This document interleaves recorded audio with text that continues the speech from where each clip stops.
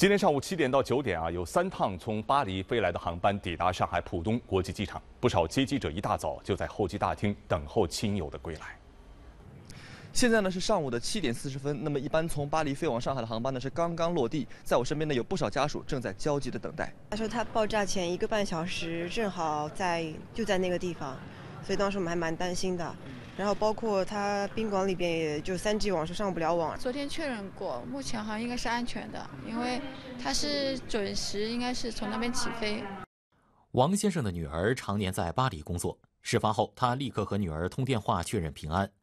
尽管表面上不善言辞，但是王先生在航班到达前半个多小时就站在候机大厅最靠近出口的位置，等候女儿归来。是有没有担心她的个人？那那当然了，担心呢。嗯 呃，确认的，他他马上要这个呃发打打打打电话过来的。八点左右，陆续有乘客推着行李走出来。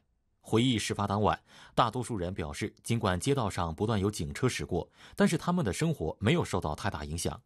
第二天，巴黎街上行人寥寥，机场、铁路等的安检也比以往严格了不少。